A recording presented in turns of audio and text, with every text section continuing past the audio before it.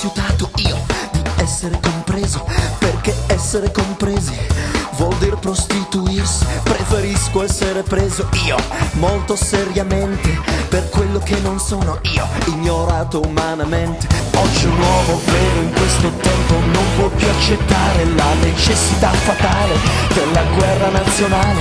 Oggi un uomo puro in questo impero non può più accettare insegnamenti di morale. O sei un santo o un carnefice.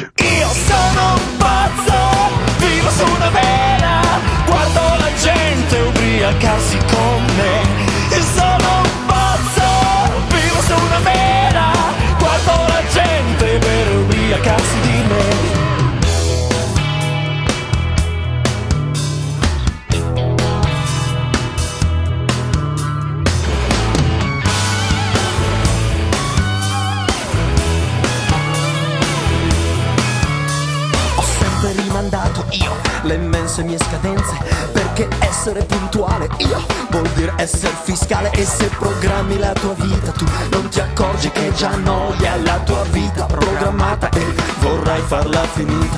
Oggi un uomo puro in questo impero non può più legarsi a questo mondo materiale Poi sentirsi originale.